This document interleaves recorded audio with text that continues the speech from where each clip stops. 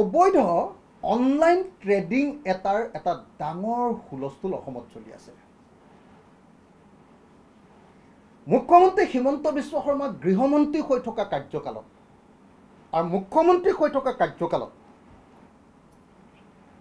অসমত এঘাৰ হাজাৰ কোটি টকাৰ এটা স্কেম হৈছে। এঘাৰ হাজাৰ কোটি টকাৰ এটা কেলেংকাৰী সংঘটিত হৈছে। ৰ'জ ভেলী যেনেকুৱা এটা ডাঙৰ কেলেংকাৰী আছিলে চাৰদা যেনেকুৱা এটা ডাঙৰ কেলেংকাৰী আছিলে আৰু চাৰদা কেলেংকাৰীত আকৌ হিমন্ত বিশ্ব শৰ্মা নিজে আকৌ অভিযুক্ত আছিলে তাৰপিছত তেওঁ নিজকে বচাবৰ কাৰণে ৰাজসাক্ষী ৰূপে থিয় হৈ দিলে। আপোনালোকে জানে যে অসমৰ একমাত্ৰ চাগে মুখ্যমন্ত্ৰী যি চি বি আইৰ কেছত ৰাজসাক্ষী হয়। এই আগতেই তাৰমানে এই কেলেংকাৰীত অৰ্থনৈতিক কেলেংকাৰীত হিমন্ত বিশ্ব শৰ্মা আগতেই জড়িত। ৰাজসাক্ষী সেইজনেই হ'ব পাৰে যি নিজে কেলেংকাৰীটোত জড়িত। তাৰমানে চাৰদা কেলেংকাৰীত হিমন্ত বিশ্ব শৰ্মা জড়িত। চাৰদা কেলেংকাৰীৰ অপৰাধী হয়।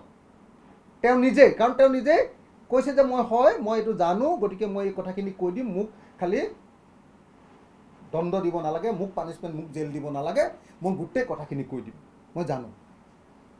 গতিকে চাৰদা কেলেংকাৰীৰ অপৰাধী হয় হিমন্ত বিশ্ব শৰ্মা আৰু সেই চাৰদা কেলেংকাৰীৰ অপৰাধী হিমন্ত বিশ্ব শৰ্মাৰ দিনত এঘাৰ হাজাৰ কোটি টকাৰ এটা অনলাইন ট্ৰেডিং স্কেম সংঘটিত হৈছে অসমত। এই যে কিবা বিশাল ফুকন এই যে কি বৰ্মন? দীপাংকৰ ন?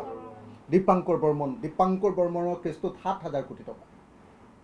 বিশাল ফুকনৰ কেছটোত দুহাজাৰ কোটি টকা সাতে দুয়ে ন।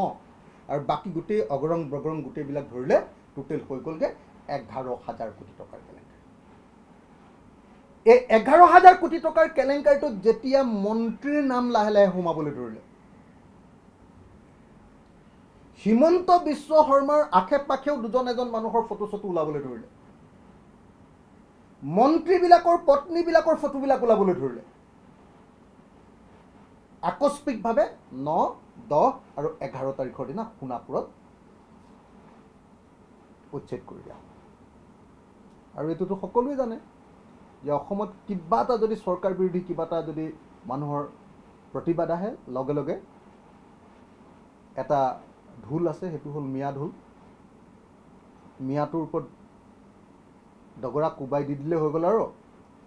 লগে লগে ইছ্যু ডাইভাৰ এইটো এখন সোণাপুৰৰ উচ্ছেদৰ মূল কাহিনী।